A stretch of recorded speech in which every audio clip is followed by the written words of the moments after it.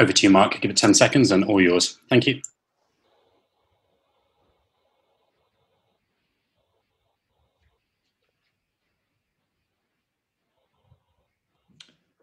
Evening, everybody. Um, just a reminder the broadcast section is going to be embargoed till eight o'clock tonight. Um, and we'll start, please, with Rob from Arsenal Digital. Hi, Mikel. Um, we've just just seen some good news on Bernd Leno. Wasn't looking too positive after the game at Brighton, but we've just announced it'll be four to six weeks. What's your reaction to that? Well, we thought it was going to be a more significant injury. We don't know the extent of the injury still, but we know that at least the um, the crucial ligaments are not damaged. It was the biggest fear at the start, and uh, he was more positive and in less pain today. So, so that's a good news. Also, further good news on Sokratis, Granit Xhaka. We hear that they could be back in contention for the game at Southampton. That's pretty good news, especially considering some of the other other problems you've had. Well, we don't know yet. They haven't trained fully with the team. Um, let's see how they are tomorrow. They can involve in any way in the squad, but um, but they are not yet um, ready. And just lastly, for me, it's another tough trip to the south coast to take on Southampton. How much did you see of their game at Norwich, and what do you think their strengths are? Yes, uh, a very German side. Um, manager, I think, that um, has the team into pressing mode. They are really aggressive. They are really good on the counter press. They are really good in transition. They know what they're doing. They all seem very, very committed to him. And uh, yeah, a very dangerous team. Right. Thanks, Mikel. Next, can we go to Aidan McGee from Sky? Can you hear me? Yeah.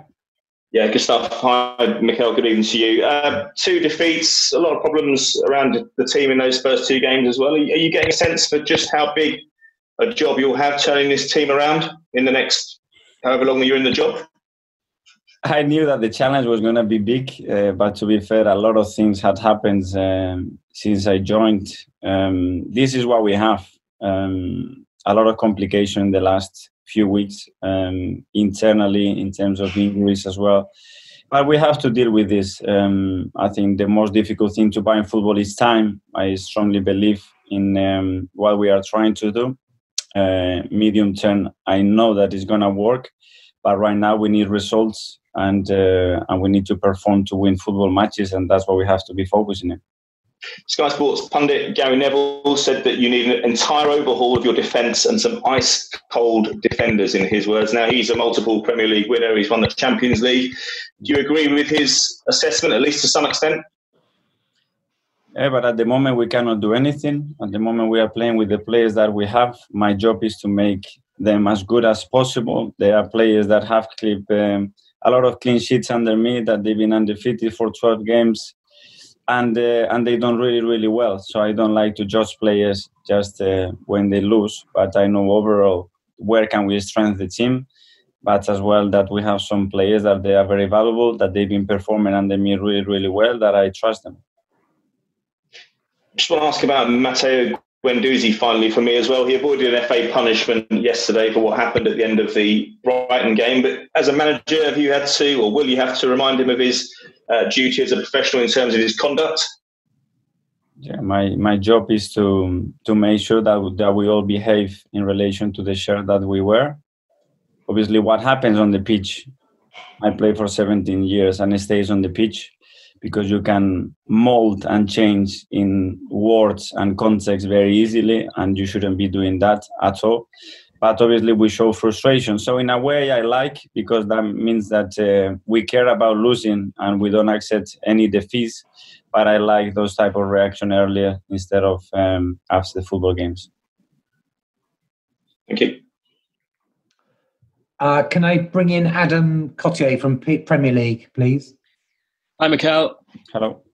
Um, what more do you want to see from your team in the match on Thursday? I think they are really willing, that they are trying really hard. And I was really upset because when I was talking about competing is for 100 minutes now, the type of games are now digest it with with the water breaks and the amount of changes that substitutions you are able to make that you have to keep that focus and um, i hate losing but i hate giving games away when they are under control and and you deserve to win them. So it's about that edge. The way they run the way they press the way they care is completely changed and um, and I am satisfied with that. And we've done more than enough to win that football game but at the end of the day in the Premier League at this level you give something to the opponent in some moments yeah it's going to be difficult to game to win football games in a row. Do you think the team has got what it takes to finish in the top 4 of this season we will see the reaction now so when you are winning two three games in a row it's easy when you lose one it becomes a little bit more difficult when you lose two in a row, two very different games, completely different to assess. I want to see that reaction and how much um, they want it, how they're going to react as a team as well as individuals, and go for it. How do you assess the confidence in the squad at the moment?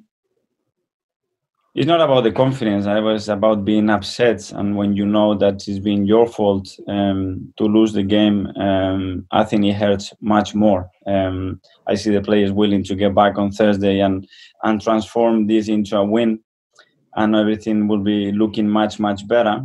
But um, at the same time, you know, uh, as a group, we have to be dealing with this situation throughout the season. You're gonna lose one or two games on the track. Okay, how do you react?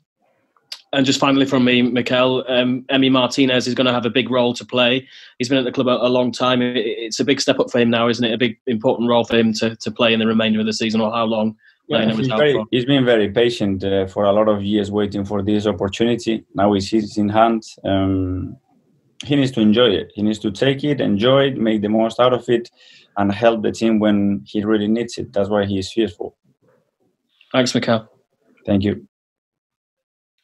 Uh, Ian Abrahams, Talk Sport. Hi, Mikel. How are you? Hi, Ian. Um, I was at the game earlier in the season at the Emirates between Arsenal and Southampton, and, and Southampton were really good. I mean, they were really impressive that day. And Danny Ings obviously scored a lot of goals from this season. This is another difficult task for you, isn't it? Considering you haven't yet got a point since the restart. I know it's a really difficult ground to go there, and uh, I explained what the the qualities of Southampton are. I agree with you; they are a really dangerous team. Um, they have no fear; they go for it. They really believe in what they do, and uh, and they compete really, really well. So we have to be ready, and I'm sure on Thursday we will be ready. How much are you now going to use the rest of this season to outline what you think Arsenal are going to look like going forward? Because obviously they used to have really strong defenders like David O'Leary and Tony Adams, and they used to have really strong midfielders like Patrick Vieira. And the feeling is Arsenal haven't got those sort of players anymore. I knew since I joined where I was jumping in, you know, and the past few seasons what happens, and I knew it wasn't a coincidence. Um, so I could have sit back and wait if the opportunity was still in the summer, or I can use this time as well to start the process I want and to start to see where the changes that have to be made.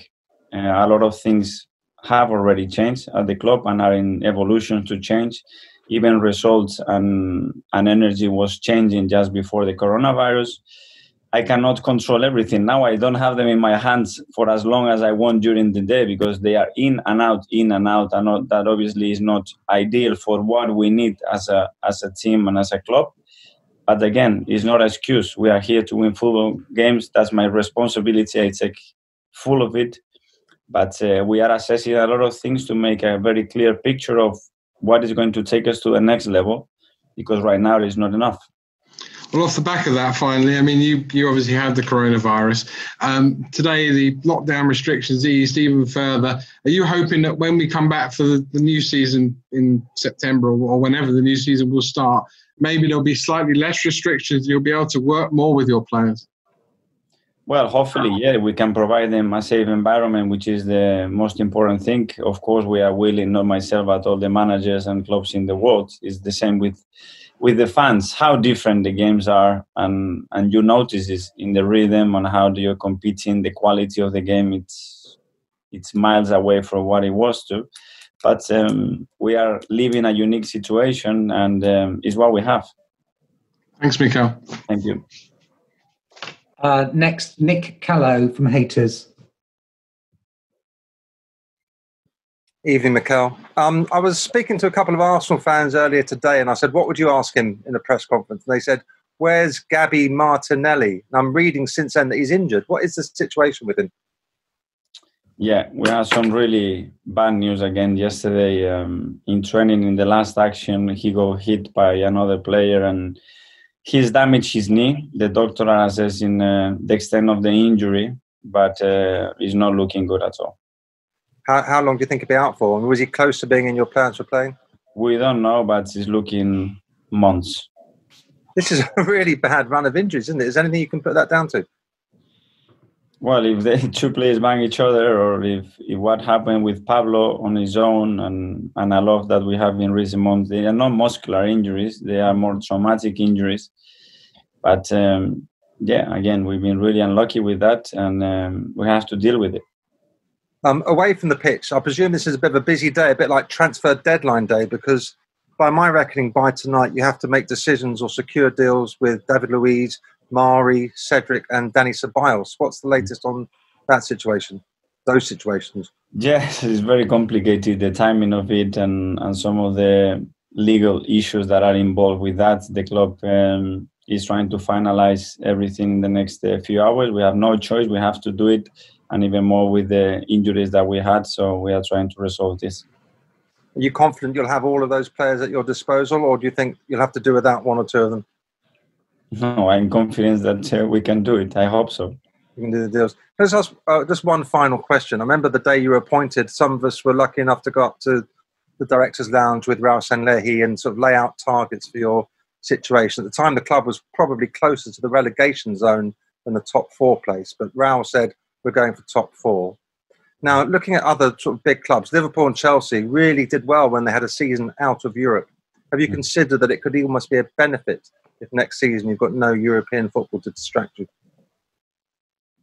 I don't know. Uh, I'm telling you that I'm going to try to win the rest of the games, that's for sure, and not look uh, more far behind than that. Um, we have some examples there that he helped them in difficult situations when they were involved with the clubs, but uh, it doesn't give you any guarantees. I want to win football games. I want to play in Europe next year. This is what this club has to be doing, and it's our responsibility to try to do that. Cheers. Thanks. Thank you. Thanks, Nick. A uh, couple from Charles Watts at goal. Hi, Mikel. How are you? Hello. Um, just on uh, the deals you were just talking about there, can you just confirm with whether um, Pablo Mari is that Flamengo have said that deal is done and he's going to permanently be an Arsenal player. Can you just talk a little bit about that and say whether or not that's true or not, um, and and how that deal's happened? Well, we've been trying to get the deal done because uh, we were happy with what Pablo can bring to us, um, and the club were trying to finalize the deal. Uh, I think the club will announce that as quick as possible when when everything is sorted. There were some legal issues there as well to get done, but our intention clearly is to keep him and that's for you know an actual permanent transfer. Yeah. Um, and on um, uh, sort of financial issues, you've talked about this last last week have maybe been making getting these deals over the line quite difficult because of all the uncertainty. Can I just ask, what hope have you got for the summer? We hear about like Thomas Partey all the time, fifty million. Is is a deal like that even possible for Arsenal, or is that is that you know sort of dreamland really at the moment uh, just to predict what's going to happen in the transfer window i think it's impossible uh, you've seen one or two clubs doing any sort of deals but the rest is really really quiet as i told you we have to assess the, the financial situation that uh, we had as well the results and where we finish in the season will dictate whether we have a, a very narrow gap or a bigger gap to do any any deals. So I think we're going to have to wait another four to six weeks to see what we are able to do. And just lastly, on, on Cedric, um, we hear that may well be uh, something you're hoping to turn permanent as well. Is that is that the plan with him? Well, it was the plan um, from the start. He's been again so so unlucky. He was injured when he joined, then he had a fracture in his nose. He hasn't played at all. Um, for us. But um, again, we think that it's a player that uh, will improve and will help the squad depth. and um, hopefully we can do it as well. Thank you, Mikel. Thank you. Thanks, Charles.